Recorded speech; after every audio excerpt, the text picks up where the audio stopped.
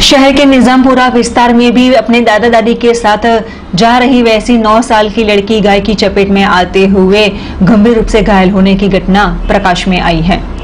वडोदरा शहर में भटकती गाय की परेशानी में आए दिनों छोटे से लेकर वय वृद्ध और नौजवान लोग हादसों का शिकार हो रहे हैं। ऐसे में शहर के निजामपुरा स्थित सूर्य नगर में रहती परिवार के साथ नौ साल की लड़की का गाय की टक्कर में गंभीर जानलेवा हादसा घटित हुआ था, जिसमें बच्ची को सर तथा आँख के हिस्से पर गंभीर चोट पहुँचने के साथ उसे छह से सात स्टिचेस आ चुके हैं। परिवार ने इस संदर्भ में तंत्र पर तीखे प्रहार किए थे।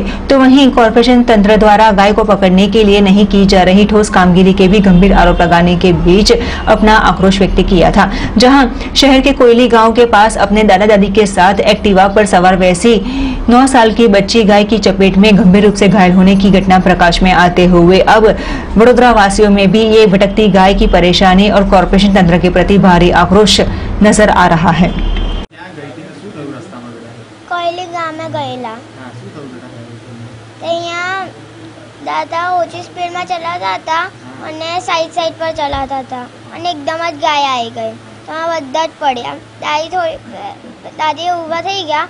થોડી વાર પછી મેં ઊભી થઈ પછી બધા અંકલે દાદાને ઉઠાડ્યા પણ એ ના ઉઠ્યા. અહીંયા આંખે વાગ્યું છે હાથે છોલાઈ ગયું છે અને પેટે વાગ્યું છે. કપાળે વાગ્યું છે. સિઝન. ખૂબ જ બનાવ બન્યો છે. બીજો પાંચ ત્રણ ચાર બનાવ બની વડોદરામાં બનાવ બન્યો હતો આપણી સાથે? અમે ગામડેથી પરત ફરતા હતા તો કોયલી ગામ આગળ અચાનક જ ગાય આગળ આવી ગઈ અડફેટમાં અને અમે ત્રણેય જણ બાઇક લઈને પડી ગયા. એટલે મારી બાળકીને ખૂબ જ ગંભીર ઈજા થઈ છે એની આંખ બચી ગઈ છે.